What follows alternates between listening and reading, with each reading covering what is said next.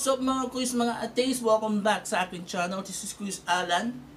Um, ngayong araw, papanoodin naman natin yung pinakabagong full trailer galing sa GMA and this time, hindi sa Telebabad, but this is the primetime bida. Ito, prime bida.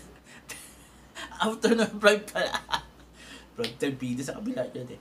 Afternoon prime ng GMA, yung pinakabago nilang uh, offering for the afternoon prime, ito yung uh, Artikulo 2, dalawa, at 2, 4. Uh, to say. English pa yun, 2, 4, 7. Artikulo, uh, dalawa, apat, pito. so, papanoorin natin dito yung uh, full trailer ng bagong uh, afternoon series ng GMA na pinagbibidahan ni Rian Ramos, uh, Benjamin Albies, Mike He- uh, Heras, Mark Heras at si ang nagbabalik na si ah umuluan ko to. Basta yung nagbabalik. Sabi, babanggitin ko na lang mamaya, nakalimutan yung pangalan niya. So, with no further ado, let's watch the video and later I'll be giving my opinion. So, let's go!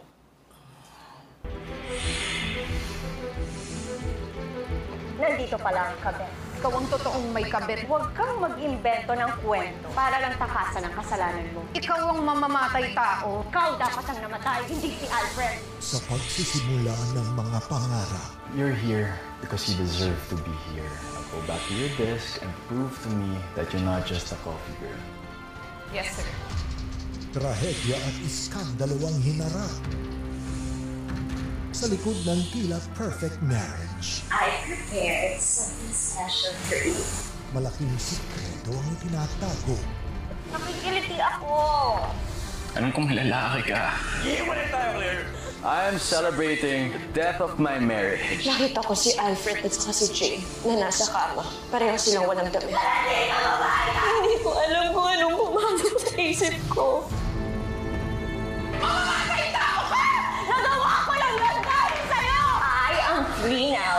And you're not dahil habang buhay kang mapaponsensya sa nangyari kay Alfred. At ikaw hindi?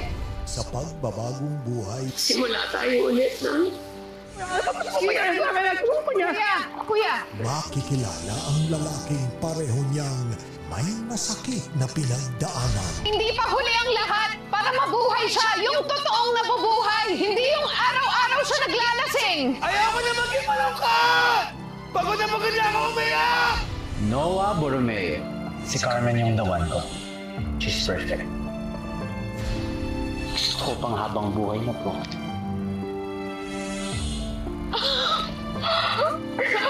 Will you marry me?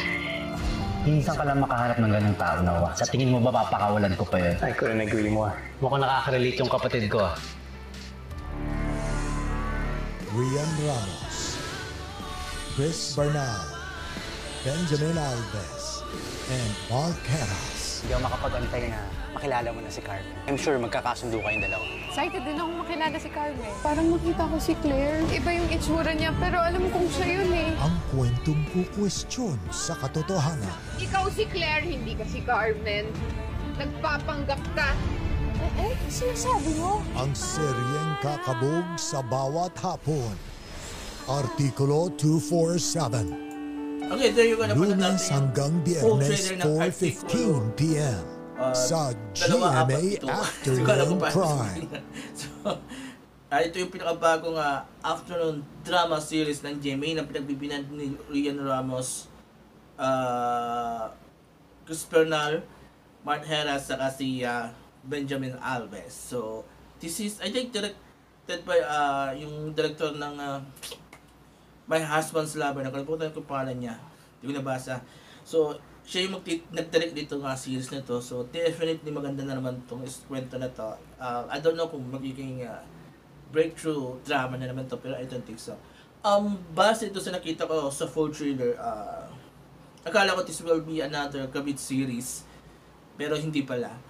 Um, parang uh, dalawang babae na nakaroon ng ugnayan sa isang lalaki. Ngayon, after nung uh, nangyaring insidente, uh, they, they ways at nagkaroon sila ng kanya-kanyang buhay. Uh, Rian, Mark, uh, Rian and Chris found their uh, loved ones or found their partners at yon sisimula yung buhay nila, bagong buhay nila. Pero uh, magko-cross pa rin, di ba? So, ganun ang nakikita ko to sa trailer na yun. So, magko-cross at, I don't know, baka sisiraan ni, ni Chris Bernal yung relationship ni Rian with Benjamin, something like that, para baka magandi, di ba? Um, medyo bago para sa akin yon yung ganung klaseng storya. Hindi man siya totally bagong bago, pero I can say na bibihira yung ganung klaseng storya and I want to see that. Medyo na-intriga ako, may content to sa storya ng drama na yan. Um,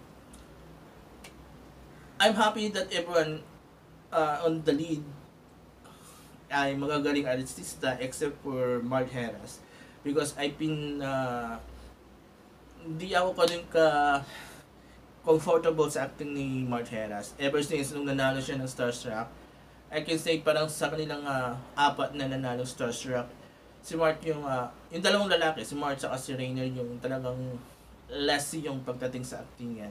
So uh, but based on the trailer nakita ko medyo okay naman acting ni ni Mark pero hindi naman ganun kalalim yung siguro yung magiging character niya. So medyo okay pa rin. So uh, kabang-abang tong series na to I, I like I like I like I like the how it will flow. Or yeah yung storyline niya. And sa actingan like you said earlier wala naman akong problema sa actingan nila. Magagaling sila to. Then tapos it is directed by uh, isang magaling na director. Yung gumawa ng yung nag-direct ng My Husband's Lover. So definitely magaling maganda to. So I don't know kung anong ipapalitan niya sa hapon. So wala akong idea. Pero uh, I can say na this will be uh, isa sa mga abangang serye sa hapon. Kasabay nung uh, Little Princess sila pa isang uh, panghapon na si serye nila. So yan.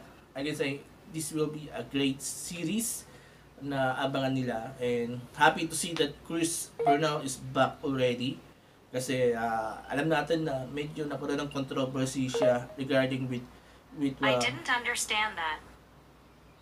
sorry. Narinig ako ni ni Google. So nagulat rin ako dun. Uh, yun. So at least nabigyan uli siya ng J binigyan nabigyan siya uli ng chance ng Jamie na umacting diba so so kasi Chris Bernal is one of the best uh, product ng Starstruck. Magaling na artista si si Chris Bernal. So yan so kung nagustuhan mo nyo man yung uh, full trailer ng Artikulo 247 uh, or 247 uh, mag uh, mag-comment kayo sa baba.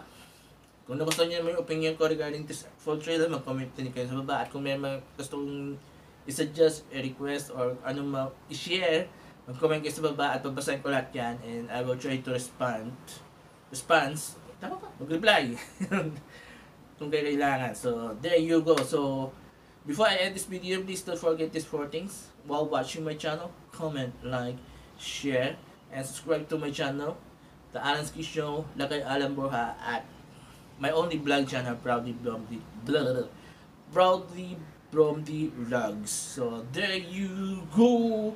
So, thank you, thank you very much again. Have a nice day to all. Bye-bye.